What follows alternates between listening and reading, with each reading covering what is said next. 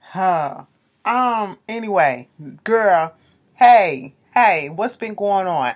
Listen, y'all ain't seen me in two days. Y'all like, goddamn, bitch, a video, please pop up. Let me tell y'all what happened. So I was doing my notes for um what it is video. You know I do that usually on Friday or Saturday, and mostly it's been consistent that I'm gonna do it on Fridays, bitch. I typed up all them goddamn notes while I was at work and left the shit at work. So y'all ain't getting the shit until tomorrow when I go back to work, uh, cause I gotta work tomorrow. Girl, I'm so I was so frustrated. I could have gave y'all I could have gave y'all two videos tonight. But anyway, what is this? That ain't even important. I was just updating you all. Girl, this is what's going on. Love after lockup. What is this? Um, life after lockup. Season 2, episode 48. Bitch, this season goddamn 3. Fuck that shit. Episode what the fuck ever. Royal flush, bitch. Okay.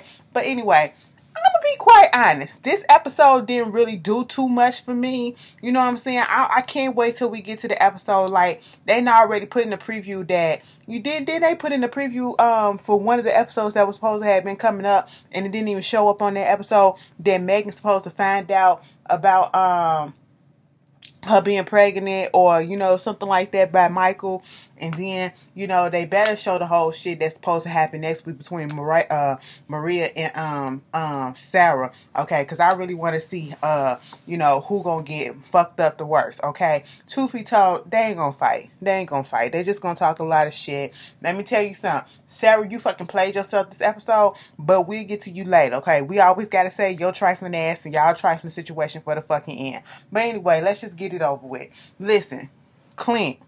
Clint and Goddess, okay?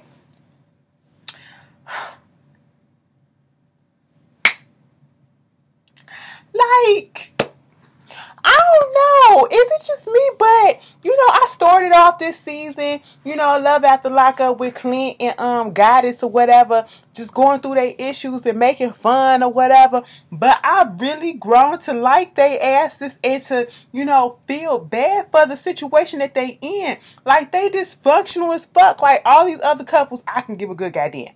But Clint and Goddess, like I really feel sad when I see them. I'll be up in my feelings like this looking at the TV. Girl, listen, listen, listen. Then Clint come up there and all of a sudden I'll be like, damn.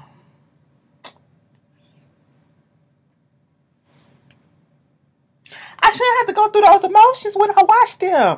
Okay, usually be all happy and shit. You know, look at these fools, look at these fools, they are dumb and shit. Girl, Clint, let it go. I know love is blind. I always say that. You know, shout out to E because it will take over your mind. What you think is love is truly not. You need to elevate and find. Love is blind. Okay, listen. But the heart wants what the heart wants, and that's why sometimes we cannot lead ourselves with our heart. We can't go by what our hearts want. We have to think with our mind. And what our mind is telling you, Clint, and I'm pretty sure you know it's your mind, even though it's probably fried too, bitch. But you you you seem like you seem like when I seen you do what you did up in this episode, I said, okay, you still got some brain cells left. Listen, bitch you know that you don't need to be with this girl right now, okay? Y'all being together is a toxic situation, and it's more so toxic on your side because you're enabling this shit. You're enabling it, you know. Um, and I understand that you want her to get better. Tracie got a want it for herself. Tracie called him and said, So you really want me to go to fucking rehab? I said, Bitch, yes. What you want him to say? You want to go to jail or some shit? No, that's not what it is, girlfriend. Okay, he wants you to do better. He wants to get better. Maybe y'all can go to rehab together. Cause Clint, you can't tell me that you 100% what is in that vape pen. Cause I know it just ain't marijuana. Okay, no boy. Mm-mm. Marijuana don't have you looking, um, you know, scullied out the way that you are right about now. And I know you probably stressed the fuck out, so that's probably why you looking like that too. But you can't tell me that that's the only thing that you taking. Don't lie to me, Clint. Clint, cut it out. Cut. Okay. Do I like a fool? No, no, no. Don't do that. But um, you know, she was like, fuck all of that shit. We gonna fast forward that conversation and get to the part where she said so and so coming over because they bleeped the name out. So and so coming over. Gonna need you to give her that dope out the drawer in the house. He was pissed the fuck off. He said, Oh, wait a minute. Didn't I tell you not to bring that shit? That was one thing that you're not supposed to do. Bring that shit up in my house. We can get in trouble. You can get in trouble. You can go back to jail or whatever. I said, Clint, your mama, imagine he was on the phone with his mama and his mama was like, I told you so. Basically, that's what it was, okay? He turned into a little ass boy when he said, I don't, I can't stay here tonight. Can I come over there to y'all? I was like, oh my God, oh my God. You know, mama whole time probably thinking I told this motherfucker so. You are out of five thousand dollars, okay? That is what's going on.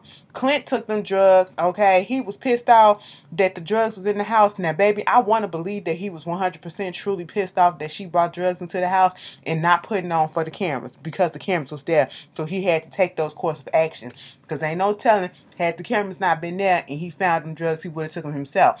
I don't know. I'm not putting that out there, even though I just did. But you know, you just never really fucking know. Okay, he flushed the shit down the toilet. Now I was like, mm, mm. Open up the bag, Clint open up the bag and throw it down the toilet. Clint threw the whole bag down the toilet. I said, hmm. And if you desperate enough, you can plunge that bitch back up if you want to, and it'll still be intact in that goddamn bag if it didn't pop open. Now, Clint, I would have preferred you if you would open up the bag and let that shit dissolve in the goddamn water and then flush it down. But I'm gonna let you go for this one, okay? I'm gonna let you go for this one. Baby, they a mess. They a mess. And Tracie, Mama, get yourself together, okay? You gotta want this. We want this. We want this for you. We can't just want it for you, okay? You gotta want it for yourself, all right? Damn. Josh and Cheryl, bitch, back, okay? Cheryl, Cheryl back up in Michigan. It's a month later after they broke up. And Josh basically felt they both basically saying, listen, that that bitch was stifling me, okay? That bitch was nagging me. You know, it was cute now when I was in jail, but then when I get out of jail, you know, she was just doing too fucking much. She talking about some all the anger and shit was just building up or whatever. You know, he had time for me when I was in jail, but then all of a sudden he get out, he with his mama, he with his other people coming around. Well, shit, that's what happens when a motherfucker's been confined for years and all of a sudden they get out and now they have freedom. You ain't the only one that's on the plate, bitch. Okay, you should have known that. You're selfish as shit. All right, let me tell you how selfish this bitch is. Cheryl has multiple fucking kids and only brought down one. Okay, I said, bitch, you was really finna leave two of your kids, your oldest kids, the ones that really truly need you in this developmental stage where they are growing up, probably about to start puberty, trying to question things like, bitch, where the fuck my daddy at in the first goddamn place? And mama, you really gonna leave me for another a jailbird ass nigga? That's what's going on. I said, mm-mm, mm-mm, Cheryl, your priorities was all the way fucked up, okay? Your priorities was all the way fucked up. No, stay your ass where you at. Daddy had to have a conversation with her and was like, listen, I'm sad and I'm sorry that you had to go through what you're going through and that you sad, but at the end of the day, that shit wasn't for you. I told you that shit wasn't for your ass. Now let me just tell you this. Cheryl and her daddy, twins. Now I don't want to think this, but the thought did run through my mind. Um, it looked like an Uncle Daddy situation going on. Now, if you understand that, the first time I ever heard Uncle Daddy and um Uncle Daddy and shit like that was on True Blood. Okay, that was some inbreeding looking type of shit. But I didn't want to say that. I didn't want to say that, but you know, somebody said it on my timeline and they said exactly what I was thinking for a second because I was looking at Cheryl, I was looking at daddy, and I was like, they really got twins, but then the mama don't look nothing like none of them, okay? And I just said, hmm.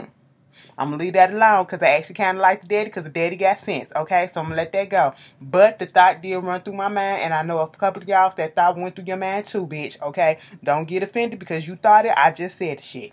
Anyway, moving on from that. Okay, girl, Cheryl, we don't give a fuck. Please don't come back. If you come back, please, like, is it me or did it look like her her tooth was moving? Okay, I could have sworn if she would have opened up her mouth a little bit wider, that shit would just fell on out. That one tooth that's right here, baby. If I ever get money to get my shit fixed, girl, I'm gonna come back on this motherfucker. Y'all gonna be like, wait a minute, Ashley, what happened? That tooth fixed, bitch. Hold up. I'm gonna be like, yes, yes. You can't tell me shit. Cheryl, I, I give her uh, credit for that. She don't, she don't, she don't give a fuck. She will open up her mouth and give you a big ass smile and let all her frontises show. Okay, girl, you talk about some. Maybe you find some love in a puppy or animal or something. Girl, that's what you need. What you need to do is find love in your kids. Okay, that's what you need to be. You know, if love find you, it'll find you. But take care of your kids. That needs to be your priority right about now. Okay. Um, Tony and Angela.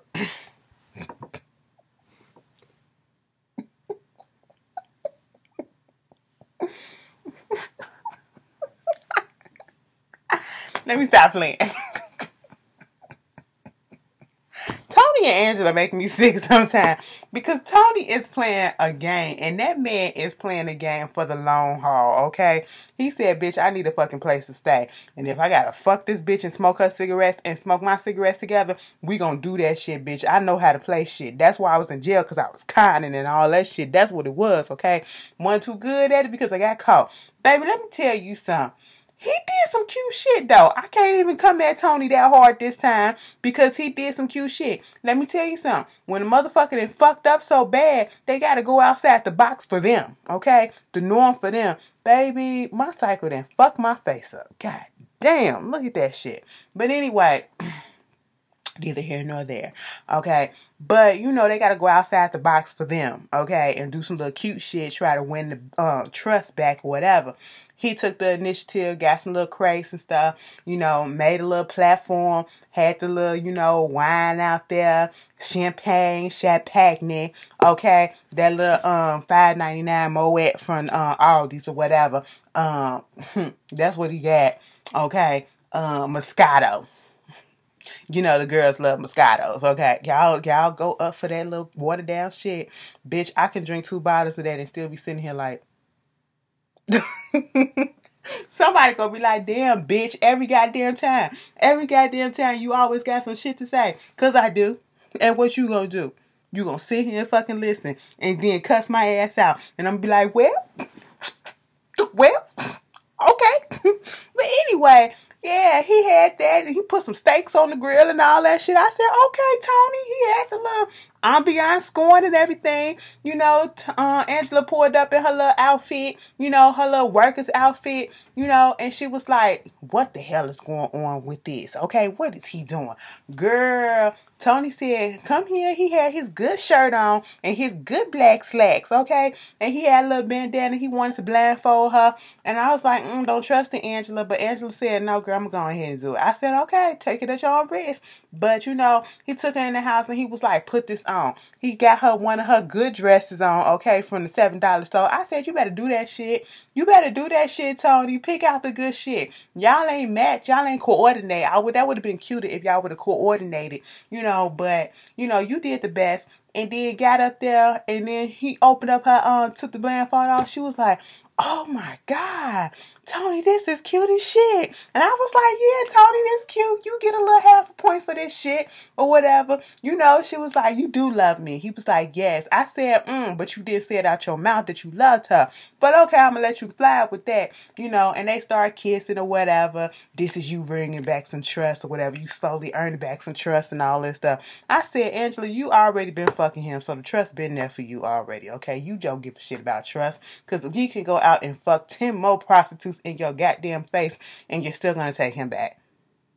So stop playing with me, okay? But anyway, that was cute. And did you hear what she said? That's cute and all or whatever. Now go get them steaks off the grill before you overcook them. I said, all right, Angela. She said, bitch, you may be thinking that you in charge of this shit, but I'm still in charge of this shit. And I don't want no over well done fucking steak. Bitch, just don't let it be blooded. I said, okay, Angela, I like that. Go ahead. Moving on from there. Andrea and goddamn Lamar. These motherfuckers, okay? Now I'm gonna have to take a poll. Okay. Because them condoms in his pockets. Now last week we heard him say, but them weren't mine. He was about to say, it wasn't me. You know, like he was shaggy up in his bitch.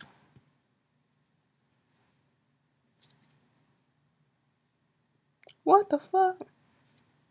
Hold on. Did I get it? Okay. Yeah. Yeah, I got it. Girl, I can't be looking wet, you know. I was at work today, and this guy he came up to me. You know, um, I was checking uh his books out or whatever. You know, he was fam too, and he was like, "Oh my god, I love your locks," and I was like, "Girl," I said, "I love your locks too," and he was like, "Thank you." We was like, "Thank you," and then here go my boss. What did he say? I said, I said, he said he liked my locks. He liked my hair. Oh my God, they always saying that they like your hair. I was like, yeah. Let me stop. Let me stop. The way she said it, it was just, girl, anyway. Um, who, who, who we talking about? Andre and Lamar. Baby, listen, listen, listen. I uh, Lamar was almost about to get cussed out by me, okay? Because I about to say, bitch, you literally sat here and said something. It wasn't you. Them condoms was in your goddamn pocket. Now, see, I was trying to make up scenarios for you. Be like, damn, you know, because Andrea, you yourself said up in the confessional, you ain't trying to get no STDs. Okay, condoms help prevent that a little bit, a little bit. You know what I'm saying? Protection somehow. You know what I'm saying? And so you know, maybe once he got off the plane or whatever, he found a little store, or before he got to the, um, you know, got on the plane, he found a store, got some a pack, a three pack of condom or whatever, and, and, and he put it in the pocket and forgot that it was there, whatever, because he thought he was gonna be able to use it on his wife, because you know y'all ain't ready for no more kids at this point. You know what I'm saying? You never know what happened. You know, he thought he was gonna make a night at it, but it just didn't happen. That's what I'm thinking. Okay. Girl, she started, you hit, you ruined my life. You ruined my life and my kids. I said, Andrea, if you don't sit your ass down, bitch, don't put your hands on that man. Now, if he haul off and knock your ass out, you can't say nothing because you put your hands on him. And see, I give, I give Lamar all the credit in the world because he ain't haul off on her ass. Probably because he just got out of jail. He just got off of parole, and there was a whole bunch of white people up in there with cameras. Okay, uh-uh, he wasn't trying to get caught up like that. So he said, "Bitch, I got to keep my calm, compassion, um, my composure, and all that shit. I can't do that. Okay, I can't do that. I know my bitch crazy. She crazy as shit. That's the reason why I like her. That's the reason why I'm with this bitch. Cause that crazy type of shit, it turns him on. Okay, because who who will stay with that? Who will stay with that if it ain't a turn on, bitch? I understand. I understand. Like she don't turn me on or whatever, but I understand it, bitch. A certain type of level of crazy, that shit can be hot. Okay, it can be hot. You know what I'm saying? I can't have a goody goody two shoe with me. You know what I'm saying? No, you got to be a little cuckoo. I mean, well, I don't want to say it like that, but you got to be a little out there, okay? Just a little bit. You know, cuss me out a couple of times, okay? Make me sit here and go like, who the fuck you talking to? Oh, you talking to me? Okay. that just did something to me. You know, do that to me. You know what I'm saying? That's what I type. Of, that's the type of shit I like. You know what I'm saying? Um, and Lamar obviously like it too, bitch. That was foreplay for them. That was foreplay for them. You couldn't tell me no difference, bitch. He gets on the phone with his brother. She was like, "Get out, get out! You ruined my life." I said, "Girl, if you don't shut your ass up." He gets on the phone immediately, okay? And he called his brother because he said that's his brother's condoms had to be because his brother be wearing his coat. Now, when he said that, bitch, I must have looked up at the TV and I said, Lamar, baby, you could have came up with a better excuse and a better lie than that. But he got on that phone and I said, uh, uh brother man, and you got a call now. If I call you asking for this, you know, some friends they'll pick up on the contest clues, like they ain't gonna sell their homeboys out or whatever. They gonna go along with the program without even having to know the script because they already know the script just in case. You know what I'm saying? And the brother was like, yeah, yeah, you know, uh, it was some gold Magnum condoms up in there. That's what it is. I brought that. I was like, hmm, okay. Andrea wasn't trying to hear because she was in the bathroom. So later on that day, she laying up in bed, and he come up in there. He was like, "So you still ain't gonna um talk to my brother? You you you still gonna be mad or whatever? Why would I talk to your brother? You probably told him to say that or whatever. I ain't telling him to say shit. Here, you can take the phone right now." So then called the brother, and he was like, "Yeah, them my condoms or whatever." And I'm sorry. He was like, "You was about to get your brother whole family taken away from him. And the only reason why I'm gonna be okay with this is because I have seen you wearing his coat before, and particularly that coat before. I said, "Oh, so Lamar, you might, you might be telling the truth." 95% of me think that he telling the truth. 5% could be like it's still a little lie up in there somewhere. You know what I'm saying? But I'm be like, okay, you know, he innocent somewhat. He's still a good man, okay? He's still a good man. And he talking about some so I mean last night you talking about something you want a divorce or whatever. You want me to you you still want a divorce? It was like, I don't even know. Okay, so do you want me to go? You want me to get the airplane ticket and you want me to go to the airport or whatever? No, I want you to stay or whatever. I said, see, see, bitch. Bitch, Andrea went through all that, and I'm surprised that she actually apologized for being crazy. She said, I apologize for going crazy on your ass or whatever. So I said, What? What? I said that Mormon mouth had a lot of bitches and shits and shit coming out of there. I said, Uh oh, uh oh, I don't think God is that is that okay, if that's what you think. I'm gonna let you go. Moving on from them crazy to um Lacey, John, and goddamn Shane. now, when we first see Lacey, she's going over there to her father. Her father got the kids. They taking, I think they was like fishing or some shit or whatever. And this is when she was like, "Hi, Dad. oh my God, Dad, I have so much stuff to tell you. Like, you know, I've been talking to John. Oh my God, why you want to talk to that heroin crackhead ass motherfucker? Like the daddy did not let John breathe for shit.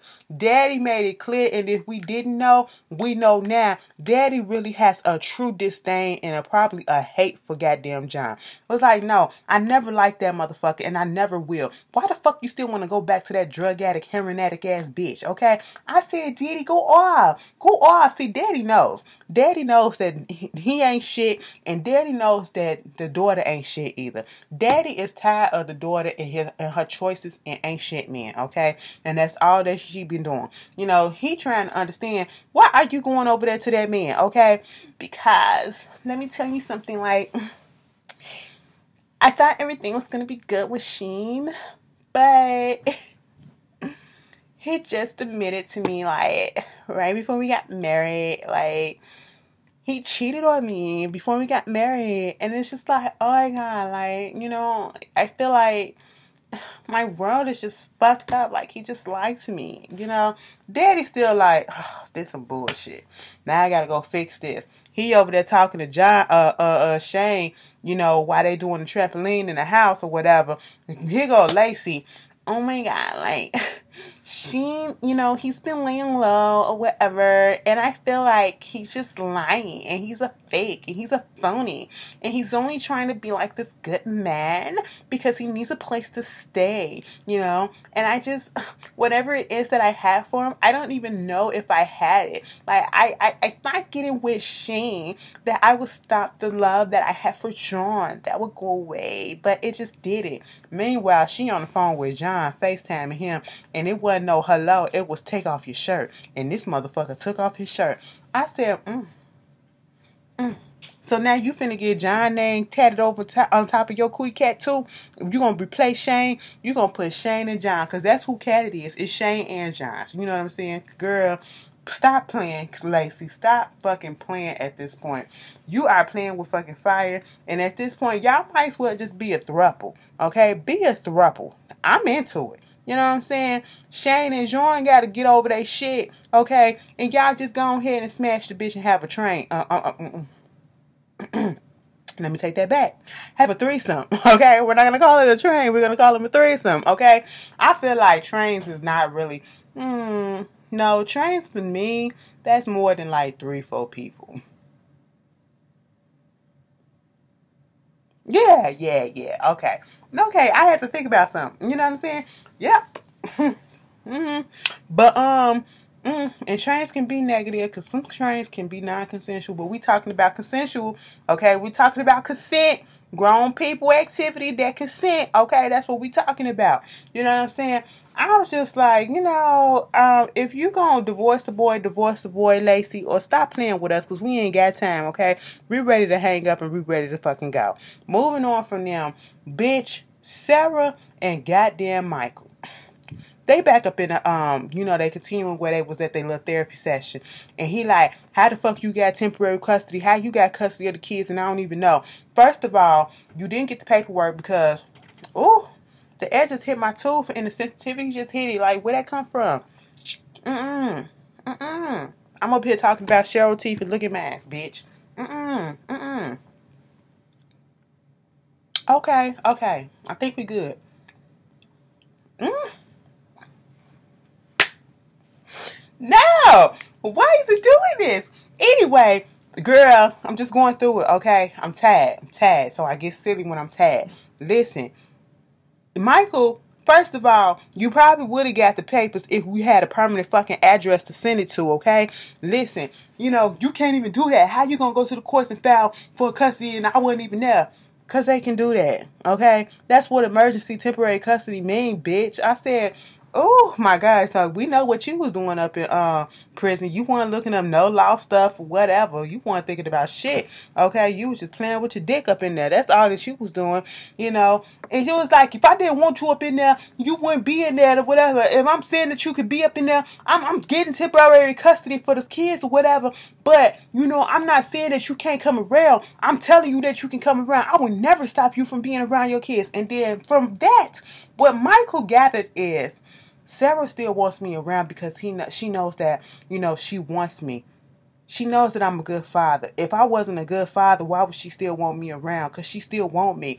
Bitch, that don't make no damn sense. Do you know how many fucking people out here in relationships with good people? He made it seem as though him being um wanting to be with her or she wanted to be with him means that she knows that he's a good father. Baby, she can want to be with you and know that you a deadbeat ass nigga. Okay, that happens a lot out here. That does not equate to you being a good father. All right, because if you was a good father, she wouldn't be begging your ass to be be around. Okay, your kids wouldn't be reacting to the way that you know the way that they did to you when they first saw you. Partly because of the shit that Sarah was saying. Sarah, you're not innocent in this shit either. Okay, fuck that. And so they go outside, and she was like.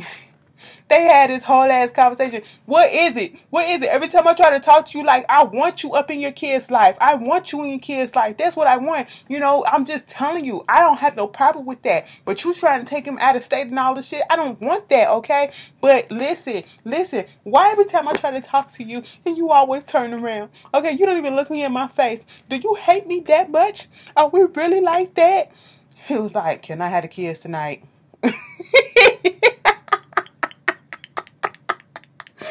Sarah be going through a whole crying dramatic fit, and Michael would turn around and be like deadpan. Well, can I have the kids tonight? And not acknowledge anything that she said. She said, "Which who who you gonna be by yourself? With me? Okay, cool, cool." And then you know that wound up happening, right? That wound up happening, and um you know, she she on her little high horse. He talking about some this flame that they got between them. Like we can't stand each other, but we still got this love between each other. And I understand it. When you really in love and you truly love the person before, that love just don't go away, okay? Um, and, and that's how come people fall back into the old habits of fucking around with their exes and shit like that. You know, they go to what's familiar, they go to that old feeling, that old thing or whatever. So I get that part. But baby, sometimes we gotta open up our motherfucking mind and we gotta shut our heart off and we gotta fucking use our mind and know that shit is toxic as fuck and we don't need to be involved in it, bitch. He came over there playing with them kids. Sarah had her hair up in a ponytail when them kids was over there, and um, um little Aviana was like, can daddy sleep over? And was like, you want me to sleep over? And was like, yeah, sure, you can do that or whatever, fine. Sarah said it was okay he called Maria and let her know what was going on. Maria up in there talking about some, you know, I trust Michael. I trust that she he ain't doing nothing or whatever. You know, it is what it is. I trust him. Meanwhile, did you see the camera zoom down on Maria's finger? She got Michael's name tattooed around her finger. I said, bitch, you shitting me. I ain't putting another bitch name on me. The only bitch name that's gonna be on me is me. Okay? And that's bitch right motherfucking there. Ashley, bitch. Okay, y'all can't see it. It's backwards. But, bitch, that's who the fuck on me. Okay, me. All right. Girl, I said you got the game fucked up, bitch. Girl, next thing you know, when he come from outside on the phone with Maria, Sarah got a head down. And Sarah let us know, bitch, regardless of what's going on between me and Michael, and I don't even give a fuck about all them other women that he may be talking to, or um, you know, he got this little bitch named Maria, because he did say that he with the bitch Maria or whatever, and was like, yeah, um, with the bitch Maria or whatever. I don't give a fuck if he fucking her. Okay? He's still my man. That's still my man. I said, Therapy is not working out for you. Y'all ain't got to the deep issues yet, okay? Um, fire your therapist and get you another one, cause baby, you still need you need help if you feel like that. And truth be told, and truth be told, like Michael said, if he break him off, break her off some dick, I want to say, um, you want to get back together, Sarah would jump on that, and if Sarah would do the same thing, he'll jump on that shit too. Girl, they a fucking mess. Anyway, that was love after lockup. Y'all tell me how y'all feel about it, and I'll see y'all later. Peace.